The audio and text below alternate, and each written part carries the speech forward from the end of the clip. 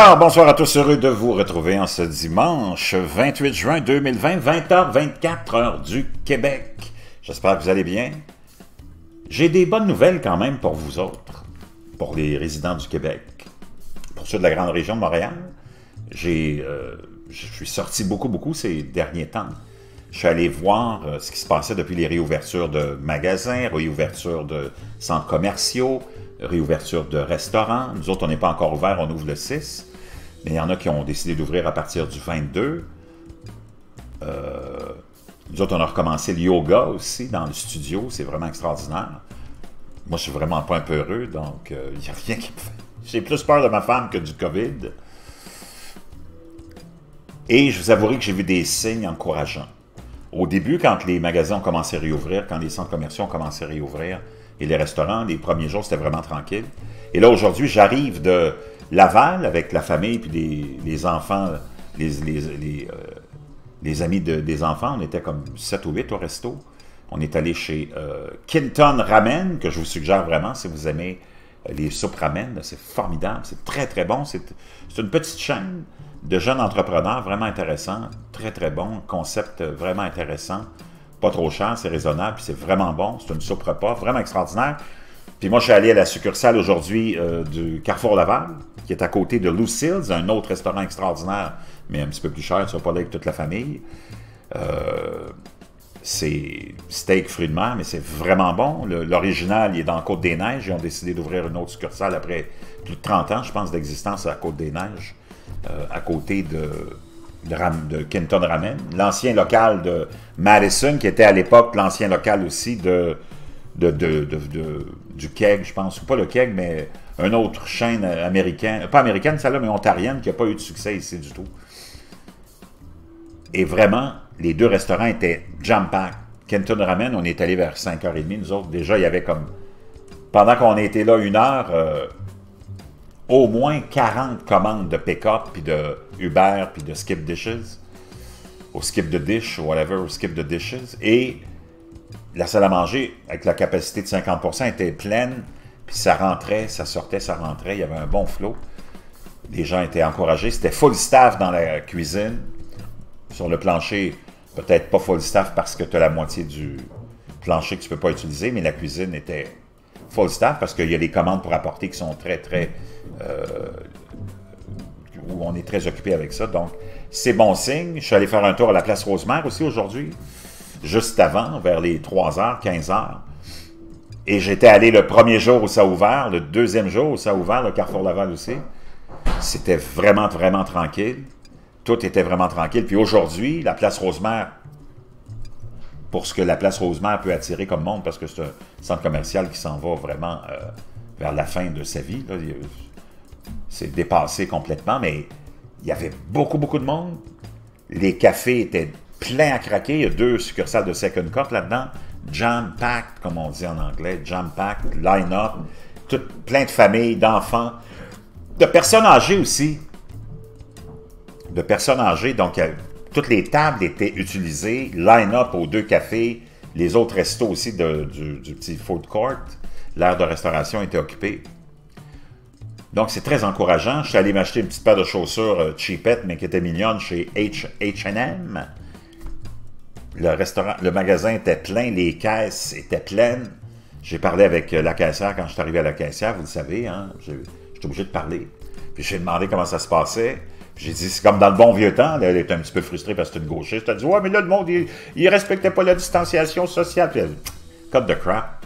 Là, je lui ai dit, c'était vraiment occupé. Elle a dit, oui, oui, oui, hier, c'était encore pire. On n'était pas capable de. Tout le monde embarquait un sur l'autre. Ça se respirait dans la face, là, tu sais, le petit violon. En tout cas, qu'est-ce que tu veux que je te dise? C'est encourageant. Parce que, je vais dire une chose, quand on a commencé à réouvrir les commerces, c'était un peu déprimant de voir que ça bougeait pas. Mais là, les gens semble se dire, ben, coudon, il faut, faut, foncer parce que sinon, c'est le monde qui va s'effondrer. Donc, il faut prendre un petit peu sur nous-mêmes, puis affronter nos craintes, puis nos peurs, puis nos phobies, puis sortir. Le pire qui va t'arriver, c'est que tu vas rentrer en contact, puis tu vas être immunisé. Puis il faudrait que tout le monde rentre en contact avec, puis tout le monde serait immunisé. Donc, c'est des bonnes nouvelles, c'est encourageant. Puis c'est vraiment bon. Je vais essayer de vous trouver... Euh, j'avais filmé un petit peu ma visite euh, au ramen, au Kenton Ramen, mais celui du, centre-ville. La première visite que j'avais faite, c'était sur la rue Bishop, quand je suis allé visiter le centre-ville. D'ailleurs, je vous montrerai des images du centre-ville, la rue Sainte-Catherine, quand je suis allé la visiter cette semaine. C'est vraiment choquant de voir ça. Je pense que je l'ai. Donc, je vais aller vous montrer ça. Le Kenton Ramen. Vraiment un petit restaurant intéressant comme concept. La bouffe est vraiment bonne. Tu n'as pas beaucoup de choix. On a même goûté le gâteau au fromage au thé vert. incroyable. Au satcha. Honnêtement, c'est un des meilleurs gâteaux au fromage que j'ai mangé. Donc ça, c'est... on de retour. Là. Ça n'a pas été long avant mon retour. Hein. On est toujours le 26. Donc j'étais allé le 26, il y a quelques jours. On est sur Bishop. On a décidé de venir manger une, euh, finalement une petite bouchée chez King Ten Ramen. Ça Kenton Ramen, quelque chose comme ça. Donc c'est Kenton Ramen. Ça fait longtemps que je veux venir manger ici. Donc euh, c'est comme des soupes euh, ramen euh, vraiment particulières. choisis ce que tu mets dedans, les ingrédients. C'est Sabrina. Hein. La tendre femme qui était là. Elle, elle a fait rajouter. elle, elle a pris un avec un œuf dedans. Un œuf, je pense. J'ai pris, Moi, pris spicy pork. Au porc épicé, c'est vraiment bon. C'est un beau petit décor aussi, industriel. Les restaurants passants sont vraiment tranquilles. En espérant, c'est vendredi, hein? Imaginez-vous que tout va revenir dans l'ordre pour tout ce monde-là parce que. Donc, voyez-vous, ça, c'était vendredi autour de 16h20 à peu près qu'on était là. 16h15, c'était vraiment, vraiment, vraiment tranquille. Et la demoiselle nous disait, parce que les autres, ils venaient, de réouvrir le lundi, qu'habituellement, avant la pandémie, ils étaient très occupés, donc ça va revenir sûrement. Là. Mais euh, là, c'était vraiment inquiétant de voir ça comme ça. Ça va vraiment, vraiment être désastreux. C'est vraiment une belle petite place. Donc, euh, on va manger. Je vous invite à encourager les restaurateurs de vos quartiers, de vos villes, parce que vraiment, wow. Puis c'est bon. J'ai bien hâte de manger ça. Donc, je vous souhaite un bon appétit et je voulais vous faire partager. Euh, on est sur Pécha. Vendredi, c'est un petit peu tranquille. Je vous reviens. Donc, vraiment, vraiment euh, très intéressant comme concept. La bouffe est vraiment bonne. Donc, je vous suggère vraiment, essayez de voir s'il n'y en a pas un dans votre coin. Très, très bon, mais le message que je voulais vous transmettre au moins, ici, pour nous, euh, les, habitants du Québec, les résidents du Québec, c'est bon signe, ça commence à bouger. C'est pas comme aux États-Unis où on a eu un, on a un gouvernement qui a complètement abandonné le bateau, qui a eu aucune, aucune... Euh, aucun leadership. Donald Trump, d'ailleurs, c'est ce qui va lui coûter sa victoire, sa réélection. Puis je vais y revenir dans quelques instants. De plus en plus de gens commencent à confirmer ça. Même, j'ai plusieurs abonnés qui étaient pro-Trump qui me disaient toujours Pourquoi tu dis ça, blablabla, puis tu dis n'importe quoi. Là, c'est eux autres qui m'envoient des messages puis des liens pour me dire que ça y est, il va se faire planter d'aplomb, puis c'est historiquement euh, qu'il va se faire planter avec une défaite historique. Pas parce que ça me fait plaisir, parce que que ce soit un ou l'autre, c'est du cinéma. C'est des gens qui n'en ont rien à branler de qui que ce soit, sauf d'eux-mêmes, puis de ceux qui représentent. Mais tu vas avoir quelqu'un au moins qui n'aura pas un discours et un comportement de poltron, de vraiment sans vergogne, corrompu, sans aucune, aucune euh, futilité, qui attaque tout le monde, qui attaque les médias, puis après ça, il s'étonne d'être attaqué. C'est comme le petit cul qui s'en va te donner une, qui te donne une pichenote ou qui te pince en hypocrite. Puis après ça, qui s'étonne que tu en foutes une bonne sur la gueule puis qui se met à pleurer. Donald Trump a mis le feu partout depuis des années, a insulté tout le monde, a traité les gens de toutes les euh, épithètes possibles. Puis après ça, il s'étonne que personne lui donne une couverture positive. Ce gars-là, est tu sérieux vraiment? C'est un bouffon. Ce gars-là, c'est un bouffon qui n'a rien accompli, puis tout s'est effoiré. Le petit peu qu'il avait, ou prétendait avoir accompli l'économie, c'est même pas lui qui l'a euh, amené là, l'économie. Ça fait des années qu'avec les trillions que Barack Obama a fait pomper dans l'économie, que cette économie-là a survécu artificiellement parce que tout ça est artificiel. Que ce soit l'économie de Barack Obama, l'économie de Bill Clinton, l'économie des Bush, l'économie de Reagan ou l'économie de Trump ou l'économie de qui que ce soit, c'est tout artificiel puis basé sur de la consommation bidon, basé sur de l'argent qui est imprimé à partir de l'air ambiant, on imprime pour les riches, puis tout le reste, ça survit sur le crédit. Donc c'est juste artificiel. C'est comme la démocratie, c'est une illusion de démocratie que tu as parce que tous ceux que tu as devant la face, ils travaillent pour le même monde.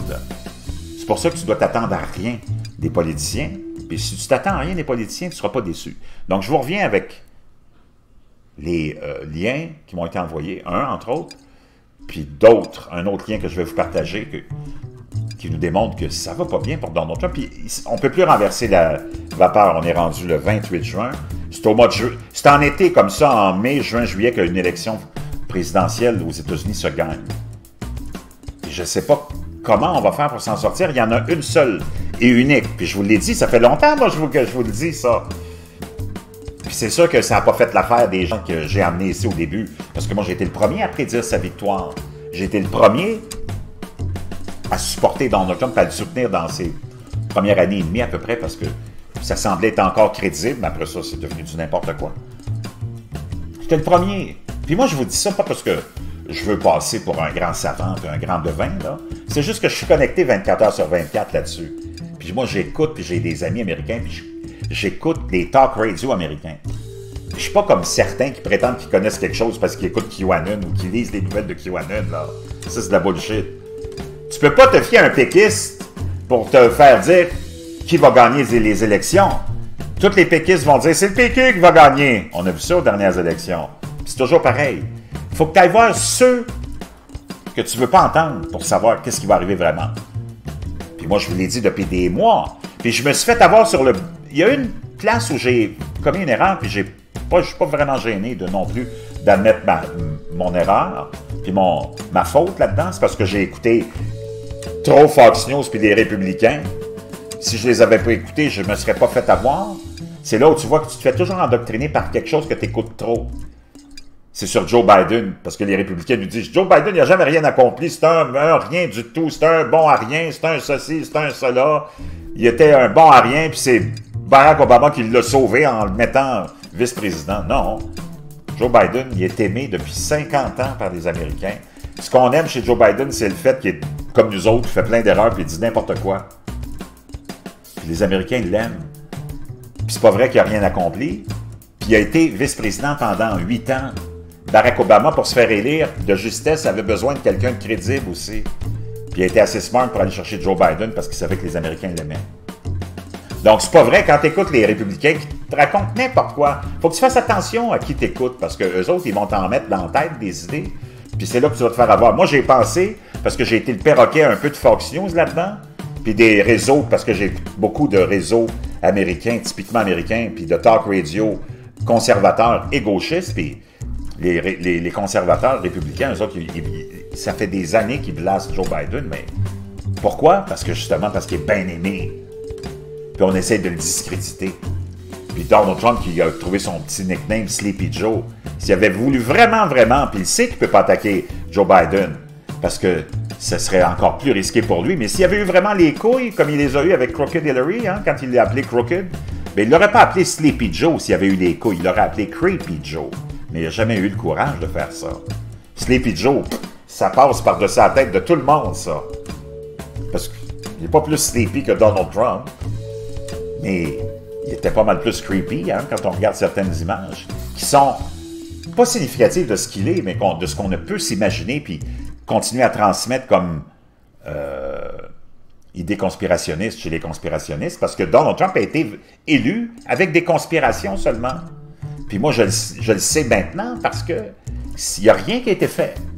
Il n'y a aucune enquête qui a été faite sur Hillary ou sur les. Ben, il y en a, c'est-à-dire. Parce que Trump, c'est lui qui est au pouvoir, c'est lui qui a commandé des enquêtes sur Hillary, sur la fondation. Puis il n'y a rien, il a rien d'illégal là-dedans. Pensez-vous que ces gens-là sont assez stupides pour avoir commis des illégalités alors qu'ils sont des spécialistes de la politique, les Clinton? Il n'y avait rien. C'est comme les idées que Trump avait parce que Hillary a gagné le vote populaire. Il a dit ça, ça a tout été. Elle a gagné le vote populaire parce qu'il y a eu de la fraude électorale. C'est lui-même qui a établi, hein, après sa, euh, son élection et son euh, inauguration, établi un comité pour étudier ce qu'il y avait comme fraude, ou ce qu'il y a eu comme fraude pendant l'élection de 2016. Puis il a été obligé d'arrêter ça deux semaines après parce qu'il n'y avait pas eu de fraude, comme on l'alléguait. Donald Trump s'est fait élire avec des idées conspirationnistes. Puis avec Joe Biden, il n'a pas été capable de le faire. Il n'a pas eu le courage parce que ça aurait vraiment, vraiment tourné contre lui. Mais quand tu regardes ça, s'il avait vraiment voulu attaquer Biden, puis il n'est pas capable, il n'aurait pas appelé Sleepy Joe, il l'aurait appelé Creepy Joe. Mais jamais il aurait eu le courage de faire ça. Donald Trump s'enligne et les républicains s'enlignent pour la défaite la plus cuisante que tu auras jamais, jamais vue dans l'histoire des États-Unis. Le Parti républicain va être relégué à un parti vraiment banal, vraiment alternatif. Ça va être vraiment hallucinant de voir ça.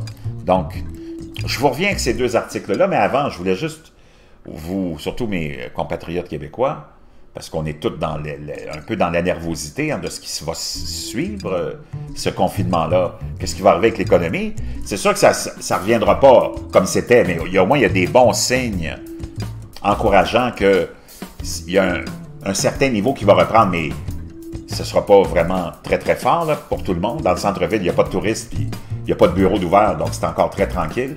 Mais dans d'autres secteurs, ça va bouger un petit peu, parce qu'il ne faut pas que tu oublies que tout ce tissu-là, toutes ces petites entreprises de papa et maman, c'est celle-là qui crée beaucoup d'emplois, puis il faut que ça revienne, sinon on est vraiment, vraiment mal positionné. Je vous reviens.